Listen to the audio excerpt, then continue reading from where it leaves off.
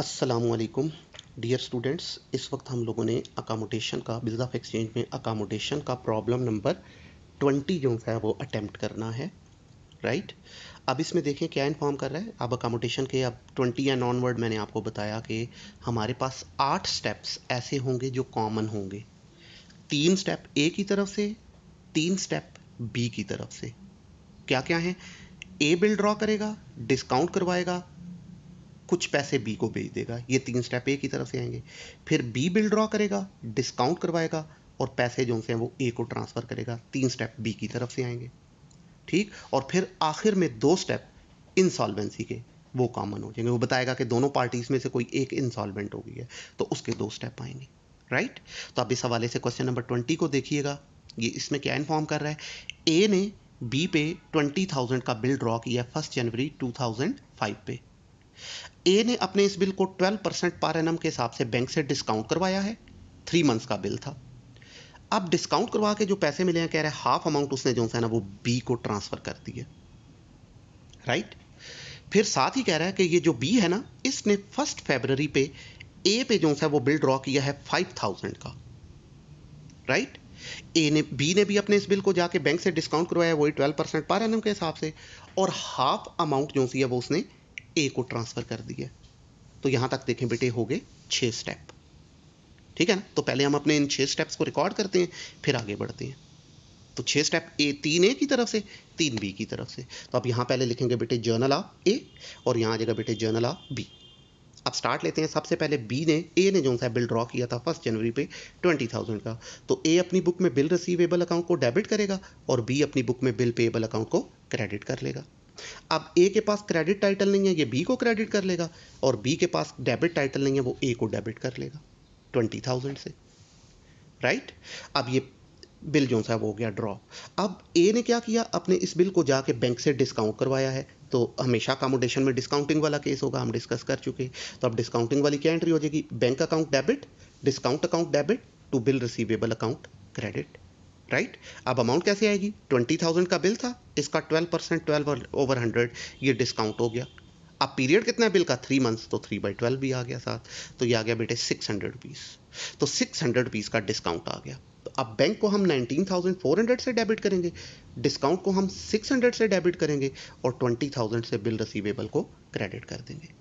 ठीक है? Total twenty thousand में से सिक्स हंड्रेड डिस्काउंट हो गया तो बाकी nineteen thousand four hundred bank में चले गए। अब ड्रॉई इसके अगेंस्ट क्या एंट्री पास करेगा? नो एंट्री उसका इससे कोई ताल्लुक नहीं है।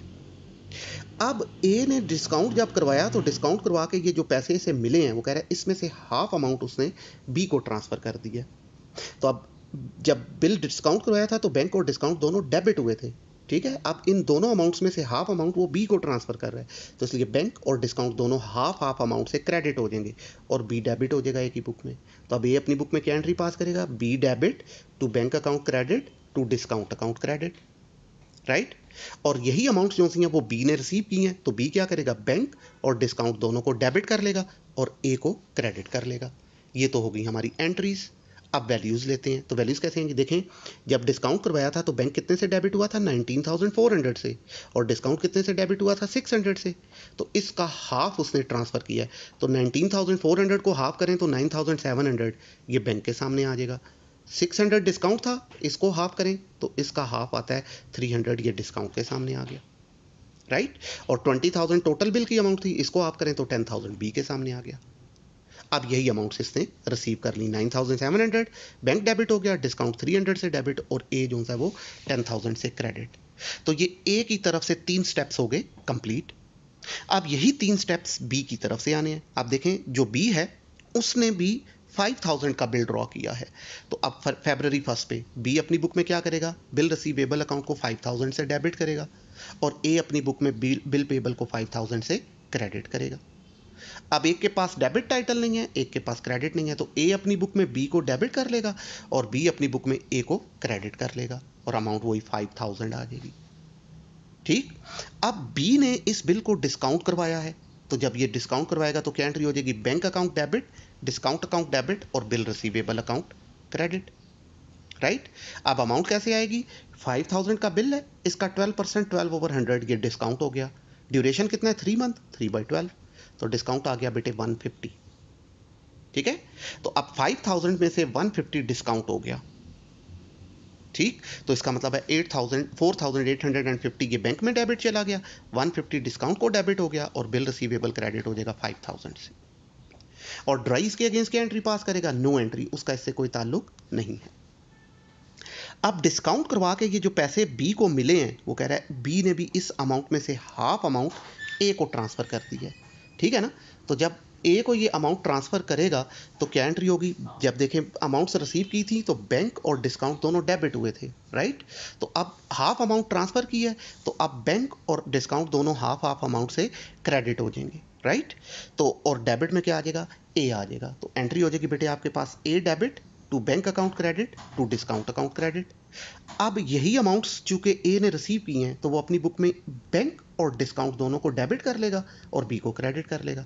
ये तो आ गई एंट्री आप अमाउंट कैसे आएँगी? देखें, जब डिस्काउंट करवाया था तो बैंक डेबिट हुआ था फोर थाउज़ेंड एट फिफ्टी से। तो इसका हाफ़ ट्रांसफ़र किया तो वो हो जाएगा two thousand four twenty five ये बैंक को क्रेडिट चला गया। डिस्काउंट कितना था? वन फिफ्टी इसको हाफ़ करें तो इसका हाफ़ आ जाता है सेवेंटी फाइव वो डिस्काउंट के सामने आ गया राइट अब इन दो बिल की वैल्यू कितनी थी? Five thousand. तो इसको हाफ़ करें तो two thousand five hundred. A के सामने आ गया। अब यही अमाउंट जो सी हैं वो इसने रिसीव कर ली। तो ये बैंक को two thousand four twenty five से डेबिट कर लेगा डिस्काउंट को सेवेंटी फाइव से डेबिट कर लेगा और बी को जो सा टू थाउज़ेंड फाइव हंड्रेड से क्रेडिट कर लेगा। राइट लें जी, ये अब हमारे सिक्स स्टेप्स जो से हैं वो हो गए कंप्लीट तीन ए की तरफ़ से, तीन बी की तरफ़। राइट अब आगे वो इन्फॉर्म कर रहा है कि जो ए है ना उसने अपनी एक्सेप्टेंस को मीट कर लिया, लेकिन बी ने अपनी एक्सेप्टेंस मीट नहीं की। बिल डिसऑनर हुआ, कह रहा है थ्री हंड्रेड पीस जो से वो इंटरेस्ट लगा, और दोबारा से जो है वो नया बिल जो है वो बन गया। राइट तो आप देखें, अब उसने पहले बात की है ए ने अपने बिल को मीट किया है। बाद में वो बी का ज़िक्र कर रहा है तो हमने चूँकि एंड क्वेश्चन को डेट वाइज रिकॉर्ड करना होता है तो पहले ड्यू डेट आएगी बी वाले बिल की तो बी वाला बिल फ़र्स्ट जनवरी पे ड्रॉ हुआ था। ठीक है ना? बी ने फ़र्स्ट जनवरी पे बिल को एक्सेप्ट किया था और ए ने फ़र्स्ट फेबररी पे एक्सेप्ट किया था। तो ए वाले बिल की ड्यू डेट बाद में आएगी बी वाले बिल की ड्यू डेट पहले आएगी। तो अब उसने बेशक ज़िक्र पहले ए वाले बिल का किया है, लेकिन हमने एंट्री के मुताबिक पहले बी वाले बिल को रिकॉर्ड करना है, क्योंकि डेट से, के हिसाब से चलना है। तो अब फ़र्स्ट जनवरी पे जो बिल ड्रॉ हुआ था थ्री मंथ्स के लिए तो उसकी ड्यू डेट क्या बनेगी? फ़र्स्ट अप्रैल पे थ्री मंथ्स कंप्लीट हुए अप्रैल फोर्थ ड्यू डेट बनेगी। तो जब ड्यू डेट पे ड्रॉई पैसे दे, चाहे ना दे, वो क्या एंट्री पास करेगा? हमेशा बिल पेएबल को डेबिट करेगा। अब अगर पैसे दिए तो क्रेडिट करें कैश को, पैसे नहीं दिए तो क्रेडिट करें ए को तो पैसे नहीं दिए इसलिए ए क्रेडिट हो गया। अमाउंट कितनी आ जाएगी? ट्वेंटी थाउज़ेंड राइट अब इसके अगेंस्ट ड्रॉर क्या करेगा डिसऑनर की सिचुएशन में? ड्रॉर हमेशा अपनी बुक में ड्रॉई को डेबिट करता है तो ड्रॉई कौन है? बी और क्रेडिट किसे करेगा? बिल के होल्डर बैंक को। कितने से? ट्वेंटी थाउज़ेंड से। ये बिल हो गया डिसऑनर अब इस डिसऑनर्ड बिल के अगेंस्ट हमने विद इंटरेस्ट नया बिल बनाना है। तो इंटरेस्ट ड्राई का एक्सपेंस बनेगा। तो ड्राई अपनी बुक में बी अपनी बुक में इंटरेस्ट को एक्सपेंस के तौर पे डेबिट कर लेगा। और यही इंटरेस्ट ड्रॉर के लिए इनकम बनेगी। तो इनकम के तौर पे वो अपनी बुक में इंटरेस्ट को ए जो है वो क्रेडिट कर लेगा। अब ए के पास डेबिट टाइटल नहीं है, वो बी को डेबिट करेगा। बी के पास क्रेडिट टाइटल नहीं है, वो ए को क्रेडिट करेगा।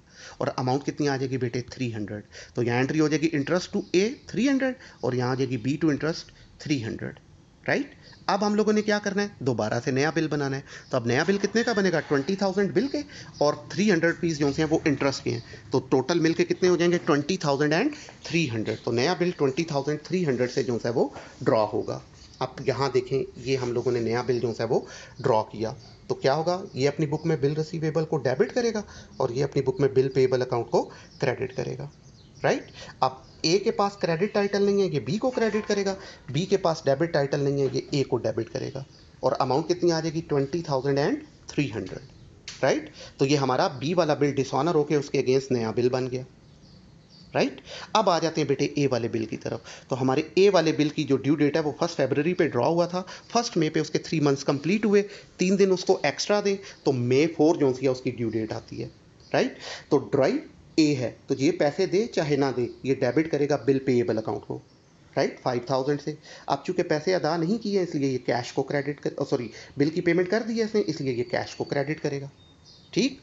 तो ये एंट्री हो जाएगी फाइव थाउज़ेंड से बिल पेबल डेबिट और कैश क्रेडिट अब जो ड्रॉई है, वो इसके अगेंस्ट ड्रॉर जो है, वो इसके अगेंस्ट क्या एंट्री पास करेगा।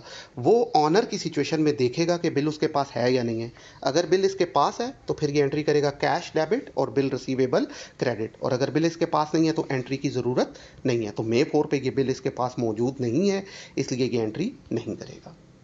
ठीक है बेटे? तो ये हो गया हमारा सेकेंड वाला बिल। पहले ऑनर हो गया। अब वो बता रहा है फर्दर कि जो अब बी है ना, वो हो गया इंसॉल्वेंट ठीक? तो इंसॉल्वेंसी को हम हमेशा दो स्टेप में रिकॉर्ड करेंगे। तो पहला स्टेप हम बी वाले बिल को डिसऑनर करेंगे। ठीक? तो जब बिल डिसऑनर होगा तो जुलाई फ़र्स्ट पे वो बता रहा है। तो ड्रॉई पैसे दे, चाहे ना दे, ये बिल पेएबल अकाउंट को करेगा डेबिट अब चूँकि पैसे अदा नहीं किए हैं बिल को डिसऑनर किया है, इसलिए ए को डेबिट कर लेगा ये क्रेडिट कर लेगा सॉरी तो इसकी बुक में एंट्री हो जाएगी बिल पेएबल अकाउंट डेबिट और ए जो है वो क्रेडिट हो जाएगा। राइट कितने से? ट्वेंटी थाउज़ेंड थ्री हंड्रेड से। अब जो ड्रॉर है, वो इसके अगेंस्ट क्या एंट्री पास करेगा? डिसऑनर में। वो हमेशा ड्राई बी को डेबिट करेगा और बिल के होल्डर को क्रेडिट करेगा। तो बिल कहाँ है? ये जो ट्वेंटी थाउज़ेंड थ्री हंड्रेड वाला बिल बना था, ये ड्रॉर एक्सेप्ट होने के बाद कहीं नहीं गया था, इसके अपने पास था। इसलिए ये बिल रिसीवेबल को क्रेडिट करेगा कितने से? ट्वेंटी थाउज़ेंड थ्री हंड्रेड से। तो इधर एंट्री होगी bill payable to A twenty thousand three hundred और ए की बुक में एंट्री होगी B to bill receivable twenty thousand three hundred this is first step of insolvency अब जो सेकंड स्टेप ऑफ़ इंसॉल्वेंसी है, इसमें हम लोग क्या करेंगे? ये जो पर्सन इंसॉल्वेंट हुआ है बी हम इसका लेजर बना लेंगे। तो बी का लेजर ये आपके सामने है, ठीक है? तो इसको हमने कहाँ से उठाना है फिर? वही अपनी एंट्री से। तो बी का रिकॉर्ड हमें कहाँ मिलेगा? ए की बुक्स में। तो अब आप देखें ए की बुक्स में यहाँ पर आ जाएँ। बी कहाँ कहाँ मौजूद है? तो ये देखें बेटे, पहली एंट्री में बी क्रेडिट हो गया अकाउंट की क्रेडिट साइड पे लिख देंगे ट्वेंटी थाउज़ेंड बिल रिसीवेबल की वजह से। फिर अगली एंट्री में बी नहीं है, छोड़ देंगे। फिर नेक्स्ट एंट्री में बी डेबिट हो गया बैंक और डिस्काउंट की वजह से। बैंक की वजह से नाइन थाउज़ेंड सेवन हंड्रेड और डिस्काउंट की वजह से थ्री हंड्रेड ये दोनों अमाउंट्स बी के अकाउंट की डेबिट साइड पर लिखेंगे आप राइट right? फिर उससे अगली एंट्री में आए तो बी डेबिट हो गया है बिल पेएबल की वजह से फाइव थाउज़ेंड तो डेबिट साइड पे लिख देंगे bill payable five thousand next ये देखें बी जो है क्रेडिट हो गया है बैंक और डिस्काउंट की वजह से। तो बी के लेजर में आप क्रेडिट साइड पे लिखोगे bank two thousand four twenty five और डिस्काउंट सेवेंटी फाइव फिर नेक्स्ट एंट्री में बी जो है अगेन डेबिट हो गया है तो अब बी के डेबिट साइड पे आप लिखेंगे बेटे बैंक अकाउंट ट्वेंटी थाउज़ेंड फिर नेक्स्ट एंट्री में बी दोबारा डेबिट हो गया है इंटरेस्ट की वजह से तो आप डेबिट साइड पे लिखेंगे इंटरेस्ट थ्री हंड्रेड रुपीज़ ठीक है? फिर उसके बाद नेक्स्ट यहाँ पर देखें बी जो है, अगली एंट्री में क्रेडिट हो गया है तो बी के अकाउंट की क्रेडिट साइड पे आप लिखेंगे twenty thousand three hundred reason में लिखेंगे बिल रिसीवेबल फिर नेक्स्ट एंट्री में बिल बी है ही नहीं है, छोड़ देंगे. उससे नेक्स्ट एंट्री में देखेंगे फ़र्स्ट स्टेप ऑफ़ इंसॉल्वेंसी में, ये बी जो है, वो डेबिट हो गया था. तो डेबिट साइड पे आप लिख देंगे bill receivable twenty thousand three hundred तो ये आपकी सारी पोस्टिंग हो गई कंप्लीट तो ये अब आपके बी के लेजर में ये देखें आपके सामने। ये डेबिट साइड पे सारी अमाउंट्स मौजूद हैं, ठीक है? और क्रेडिट साइड पे ये चार अमाउंट्स मौजूद हैं। सर्कल वाली अमाउंट अभी नहीं आई है। अब हम अपने इस बी के लेजर को क्या करेंगे? क्लोज करेंगे। तो हमने ये कहा जी कि ये जो हमारा इनसॉल्वेंट पर्सन है, इसकी हमेशा डेबिट साइड का टोटल ज़्यादा होगा क्रेडिट साइड का टोटल कम होगा, ठीक है? तो जो डिफरेंस है वो कितना आ रहा है? Twelve thousand eight hundred B से कहा जाएगा कि ये पैसे आप हमें अनायत करें, दें। वो इंसॉल्वेंट है। वो हमें ये ट्वेल्व थाउज़ेंड एट हंड्रेड सारे पे नहीं कर पाएगा। अब उसने क्या मेंशन किया? वो कह रहा है फोर्टी पैसा इन आर आप लोगों को उससे रिकवर हुआ है।